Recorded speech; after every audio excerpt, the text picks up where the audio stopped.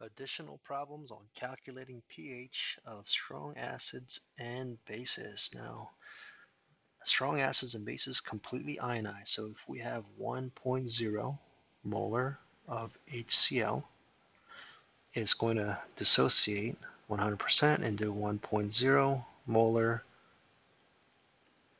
H plus and 1.0 molar, I don't know why I'm writing it like this, but uh, 1.0 molar uh, Cl uh, minus chloride ion. But we're not really worried about that. We're just, this is what we need here, a hydrogen ion concentration, because pH is equal to the negative log of the hydronium or hydrogen ion concentration. So um, that happens to be one here. So what raised, so when you're doing log uh, functions, what raised to uh, oh, 10 raised, the base here is 10, 10, I'm sorry, 10 raised to what power is equal to 1? So that's going to equal 0 because anything raised to the 0 power is 1. Okay, or you can just plug it in negative log of 1 and you'll get 0 in your calculator. All right, number, or the next one, calculate the pH of 1 molar of nitric acid is another strong acid. So um, you start with one point, sorry, 0.1 molar. If you start with 0.1 molar of that, you're going to end up with 0.1 molar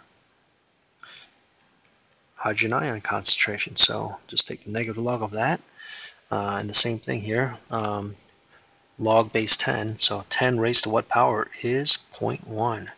Um, so punch that in your calculator, should be 1. pH is equal to 1. All right, moving on here. Um, this time we have uh,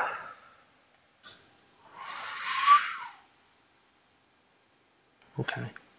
This time we have um, it's asking us for pH all, for all of these.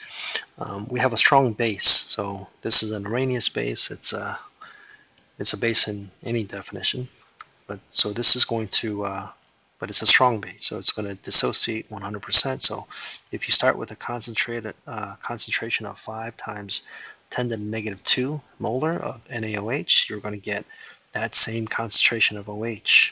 So we know the hydroxide uh, concentration is also because it completely uh, ionizes.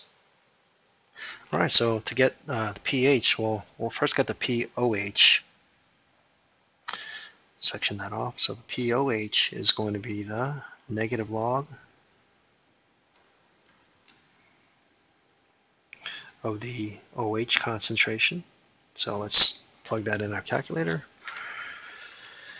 Negative log of uh, 5 times 10 to the negative 2. Um, I got uh, 1 point 1.301. Now that's the POH, so pH plus POH equals 14 at 25 degrees Celsius, which is what we assume in all these problems unless we're told otherwise. So 14 minus the answer we just got, 12.6989. Um, so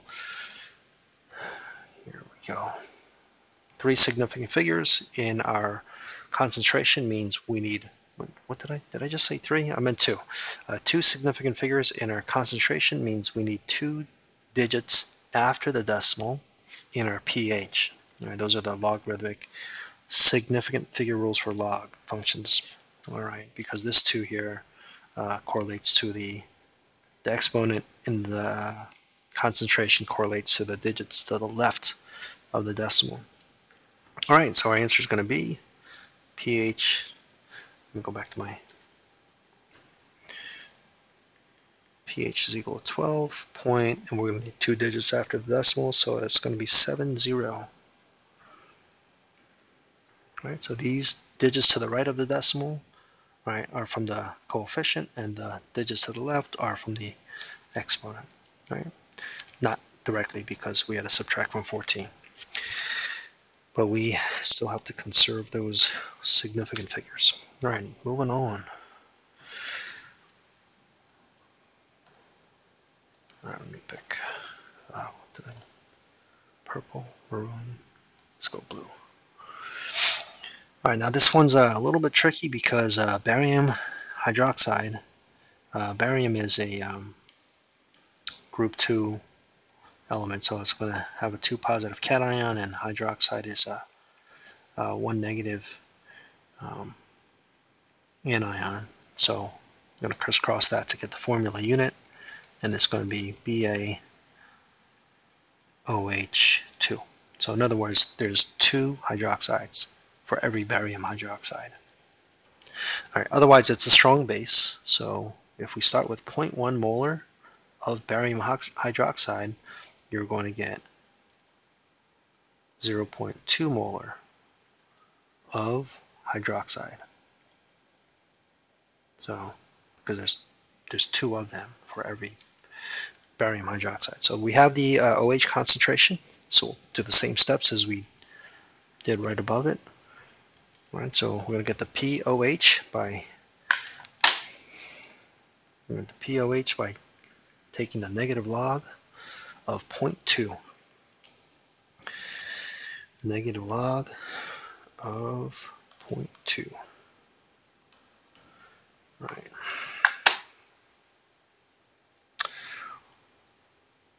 Um, what's going on here? Oh, man, getting attacked by bugs. All right, well, all right, negative point, um, zero point six nine eight nine dot dot dot. All right, so we have our POH, and we know pH plus POH is equal to 14. Where are these bugs coming from? Sorry about this. Uh, 14. Ah, oh, man, I just erased my... All right, sorry. Let me do that again. Erase my calculator. Yes, it's gone. Negative log 0.2. Um, all right, now 14 minus that stored answer is uh, going to be 13.3. So pH is equal to um, this only gives uh, one sig fig, so we need one digit after the decimal, 13.3. Okay. Um, last one. Oh, now this one you're not going to get on a, on your test, but it's uh, just a kind of tricky question here that was thrown in here. This um, this, this is a strong acid, so it's going to completely 100% uh, ionize. But look at this, look at the tininess of that number. That's less than the um, ionization of uh, the self-ionization of water. Okay, so if you recall, uh, in the auto-ionization of water, um, you get a very, very, very small amount of uh, H plus and OH minus just in pure water. Right, so they're both equal to 10 to the negative 7. 10 to the, so this is much smaller. It's like a thousand times smaller than you know uh, what we have in pure water. So the pH of pure water is 7. So the pH of this is not going to be not going to change from that small amount added to uh, pure water. So pH is going to be roughly still 7. E even with those two digits, it's um, it might be like point uh, six point nine nine nine or something like that, but pretty close to seven. Do we have more? No, that's it.